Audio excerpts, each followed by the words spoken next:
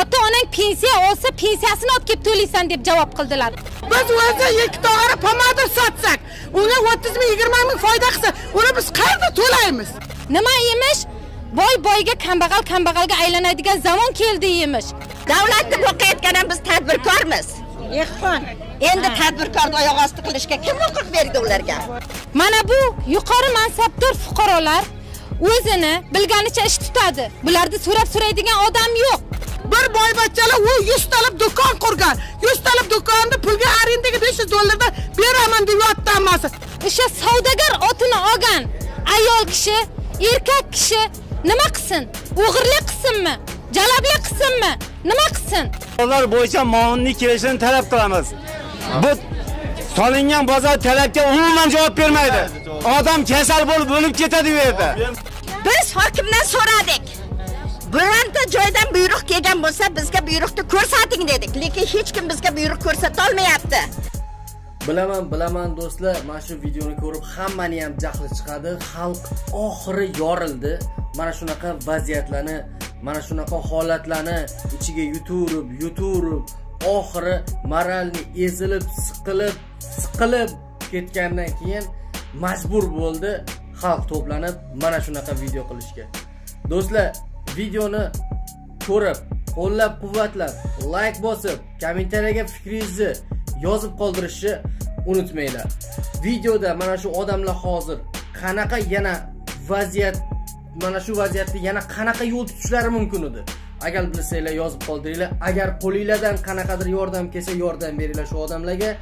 Videoni tarqatsanglar ijtimoiy tarmoqlarda facebookda ayniqsa tarqatsanglar kerakli joylarga vaqtida yetib boradi.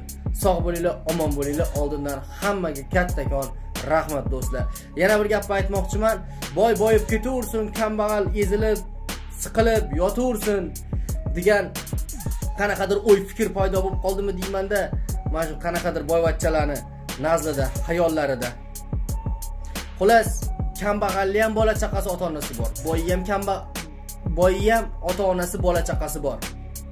Hammani ham rizqini xudo beradi. Lekin mana shu karvonni egasi bo'laman deb mana shu shuncha odamni qiyratish yaxshi emas lekin. O'zinglar videoni ko'rib tushunib olishinglar mumkin do'stlar. To'rtta eshikni og'ziga bozor buzilsin degan narsa yozgan. Bir insonni o'zi yuzta do'konni sotib olgan. Qayerdan borib biz ikki yuz qirq million besh yuz dollar qilib bizlar borib xarajat qilib ishlaymiz. Biz prezidentimizdan talab qilamiz kishi bozorimiz qolsin.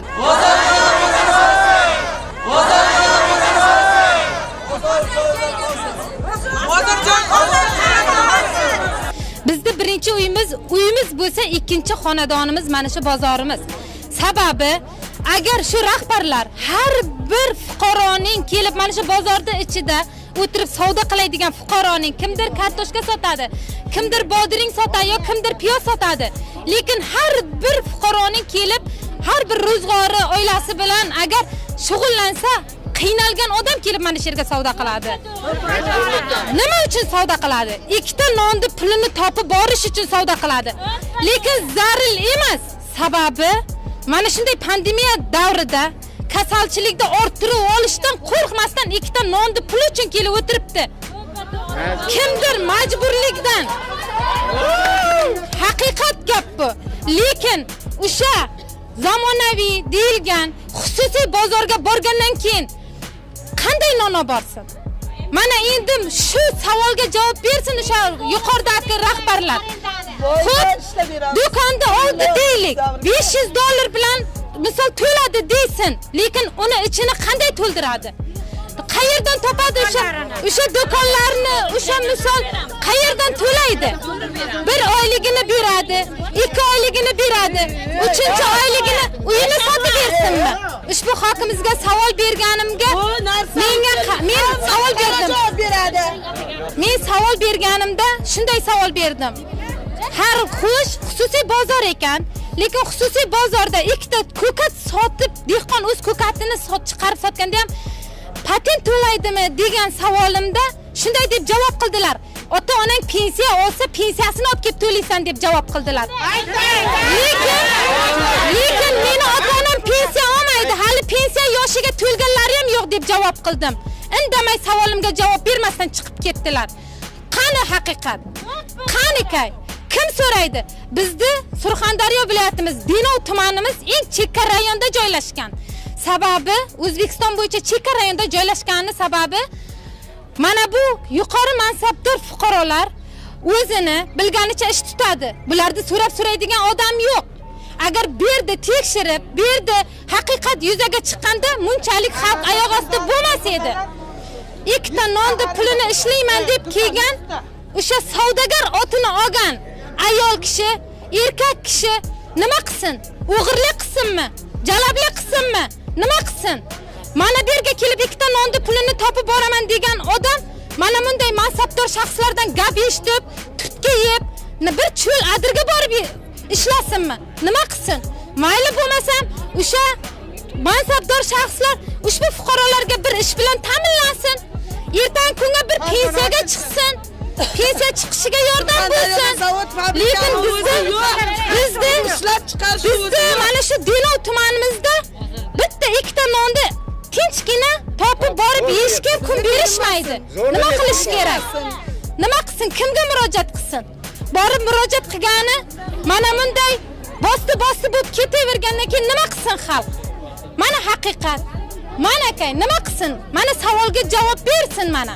Aytsin shunday qilib nima emish boy boyga kambag'al kambag'alga aylanadigan zamon keldi emish unday degani kambag'al o'lib ketaversin boy yashayversinmi? Qani haqiqat? Mayliga. Misol bozorga chiqmasin. Mana shu bu yil karam 100 so'mga teng bo'lib qoldi. Dehqonlar uyida. Dehqonchilik piyoz 300 so'mga teng bo'lib qoldi. Lekin ushbu dehqon ushbu dehqon o'z dehqonchiligini sotolmagandan keyin bozorga chiqarib sotib hech bo'lmaganda o'zini bir xaraj qilgan xarajatidan bir bir xalta bir dorisini rasxotini chiqarib olishi kerakmi? Buning uchun nima? Zamonaviy bozor xususiy bozorga borib nimani sotadi? Nimani bir oyligini birdan to'lab qayerdan topadi? Ikkita nonni pulini qayerdan topadi? Mana aytsin o'zi mana pandemiya kasalchilik davrida shu kasalchiliklarga qaramasdan chiqib o'tiribdi. Zaril emas. Agar bitta kasalchilikni orttirib olsa har bir inson bitta bolasiga bolasidan nevarasiga nevarasidan chevarasiga ortib ketadi o'tib ketadi. Buni kim davolaydi? Hech kim davolatolmaydi olmaydi. Ham mana shu kasalchilikni ayni yengaydigan davrimizda turibmiz. Lekin mana shunday yengaydigan davrimizda bizni mana shunday ahvolga solib o'tiribdi. Bitta pirlavka joyi bir kim javob beradi? kim mana shulardan bitta pirlavka joyi bir million ikki yuz ming dedi. Biz borib so'rab keldik pirlavka joy yana bir yuz ellik ming boshidan to'laysan dedi. Biz o'zi ikkita ora pomadir sotsak unga o'ttiz ming yigirma ming foyda qilsa uni biz qayerda to'laymiz? Qayerda to'laymiz? Bizni hech yerga sharoitimiz ham yo'q. Bir boyvachchalar u yuztalab do'kon qurgan. Yuztalab do'konni pulga arendaga besh yuz dollardan beraman deb yotdi hammasi. Bizga shu bozorimiz qolsin. Mayli o'zimiz remont qilib olamiz shu bozorimiz qolsin. Qolsin bozorimiz qolsin. Prezidentimizdan talab qilamizki shu bozorimiz qolsin. Iltimos qilamiz prezidentimizga. Shuncha ayollarni nomidan xalqni nomidan iltimos qilamiz bozorimiz qolsin. Bozor bo'yicha muavinlik kelishini talab qilamiz. Bu solingan bozor talabga umuman javob bermaydi. Odam kasal bo'lib o'lib ketadi bu yerda. Mana bu bozorni kelib ko'rsin. Respublikadan kelsin bozorni ko'rsasin razmerlarini ko'rsin. Qanday ishlasa bo'ladi bizlarga ish bilan ta'minlash kerakmi yo bizni ishdan yo'qotib tashlash kerakmi odamlarni? Aka sharoit yo'q. Hokimingiz bo'lsa ham bir kun ishlaydi o'n kun biz yuz ishlaymiz ikki yuz yil ishlaymiz. Bozor bozor bir yillik qurilgan narsa emas yuz yil ishlaydi besh yuz yil ishlaydi ming yil ishlaydi aka. Siz bizni gapir bu yoqqa borsak gapirtirmaydilar kirgizmaydilar. Bu yerga odam kelsin yuqoridan aka. Mayli talabga javob bersin hamma ko'chirsin. ko'rsin yangi bozorni. Talabga javob bermaydi aka bozor. Umuman bermaydi. Opa. yangi bozorimiz xususiy. Biz dehqon kambag'allar joyi. Bizni kuchimiz yetmaydi.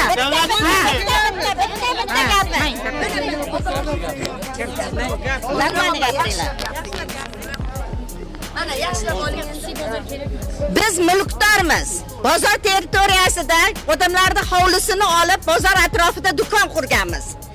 Ayni mustaqillik boshlangan paytida eng qiyin davrda qurib bitirganmiz. 20 yilda qurgan do'konimizni bugungi kelgan hokimiyat vakillari bir kun ikki kun ichida buzib tashlashga kim huquq bergan?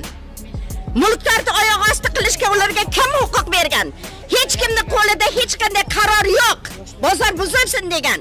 Surxondaryo oblasti bo'yicha bizni bozorimiz 800 milliondan ziyod pul topshiradi bankka. 78 ta bozordan chekchisi non yeydi bu yerdan. 2000 ta piyoz purish kartoshka purish bola boqadi. Har birini oilasida 5 tadan bola bo'lsa 5000 ta 10 ming ta aholi shu yerda non yeyapti. Davlatga pul to'laydi Ha. Endi bitta gap, bozorimizda sharoit yo'q deyapti. Sharoitni biz qilamiz. Bizga Biz bizga bersin loyihani, o'zimiz qurib bitkazamiz. Xalq bir mushdan bersa o'ldiradi. Bir parchadan bersa to'ydiradi. Prezidentimiz bu yilgi yilda kambag'allarni boyitish yili degan. Lekin bizni dinor rahbarlari ozgina mulk to'plagan mulkdorlarni oyoq osti qilyapti. ozgina pul to'plagan guruch purish bilan piyoz purishni cho'lga haydayapti kim huquq bergan bularga kim huquq bergan biz hokimdan so'radik. Bironta joydan buyruq kelgan bo'lsa bizga buyruqni ko'rsating dedik. Lekin hech kim bizga buyruq ko'rsatolmayapti to'rtta eshikni og'ziga bozor buzilsin degan narsa yozgan. Lekin o'sha qog'ozni kim buyrug'ini kimning buyrug'iga? Kimni chiqarilganini hech kim hech kim bizga ko'rsatib berolmayapti yangisini qurib bitkazsin sharoit yangi bozor monopoliya bo'lyapti to'xtanglar to'xtanglar. O'rtoqlar o'rtoqlar jim. Yangi bozor hech qanday bozor deb yozilmagan hech joyga savdo kompleksi. Boyvachchalar uchun gipermarket supermarket yerda. Bir kishi u- uch to'rt do'konga 500 e, dollar desangiz 240 millionga sotib oling deyapti. Kimda puli bor? Kimda puli bor? Kimda puli bor? Pandemiya davrida xalqni to'ydirgan ham biz tadbirkormiz. Davlatni boqayotgan ham biz tadbirkormiz. Endi tadbirkorni oyoq osti qilishga kim huquq berdi ularga? Bizni savolimiz shu. Bizga javob berishsin. Biz prezidentimizdan iltimos bozorimiz joyiga ha bozorimiz joyiga qolishini iltimos qilib butun dehqonlar nomidan iltimos qilamiz. Iltimos qilamiz. Ha. Tinch aholini tinchini buzmasin. Biz yangi bozorga bormaymiz. Yangi bozorda do'konni bittasi bir insonni o'zi 100 ta do'konni sotib olgan. Qayerdan borib biz 240 million 500 dollar qilib bizlar borib xarajat qilib ishlaymiz ishlolmaymiz arendaga ishlolmaymiz ha? Biz 30 ming 20 ming dehqonga e, dehqon bozoriga savdo qilyapmiz foydasi.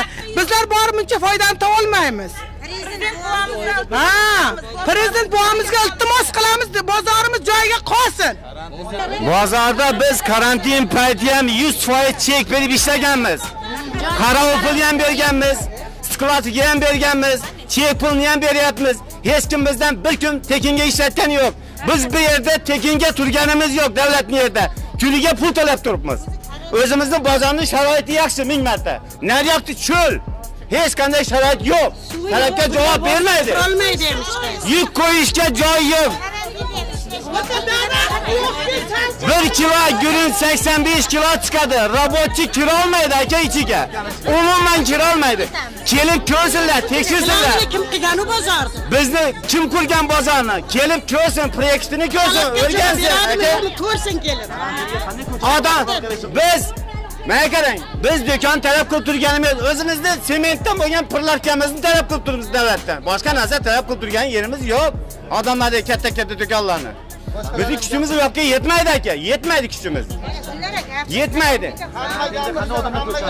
karantin payti qanday ko'chadi kunini zo'rlab ko'ryapti odamlar kunini zo'rlab ko'ryapti ayollar keling ayollar sharoitni ayting men tadbirkorman qassobchilik faoliyati bilan shug'ullanaman.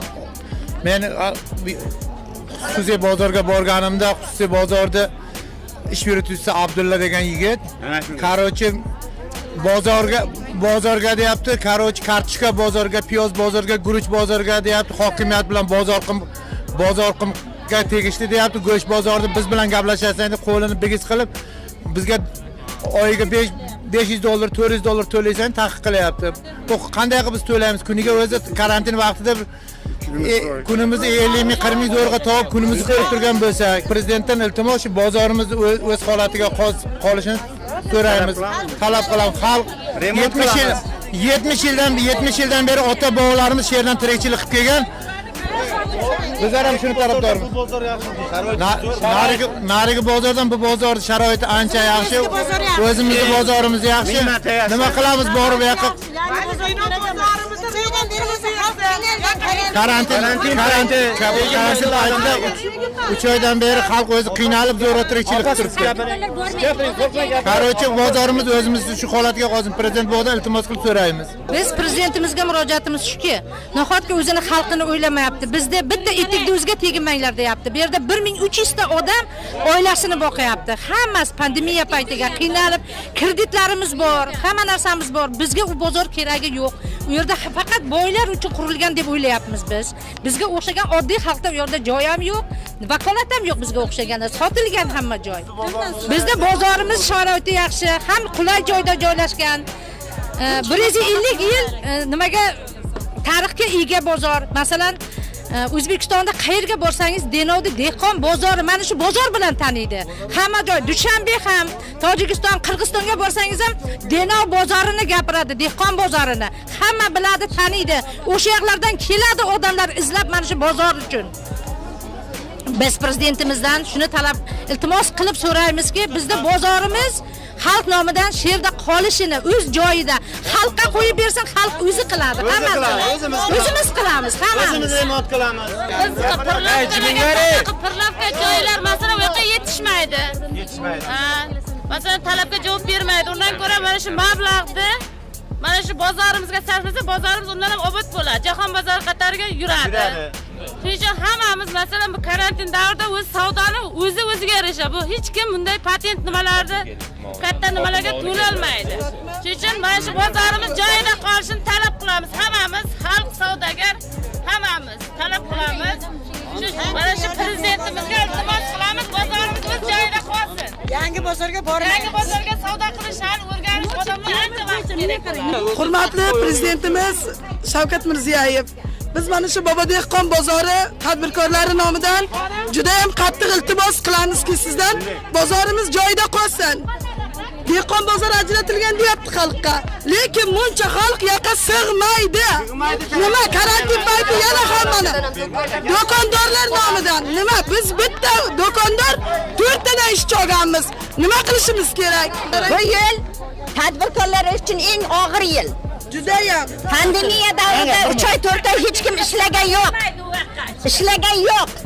Lekin bironta rahbar xalqdan ahvoling nima deb so'ragan yo'q. Bironta kishiga bir so'mlik yordam yoki xalq so'ragan odam yo'q. yordam Nima qil? chekini ham to'lab o'tiribmiz hammasi Hamma narsani o'zimiz qilib, o'zimiz qurgan do'konda o'zimiz xo'jayinmiz.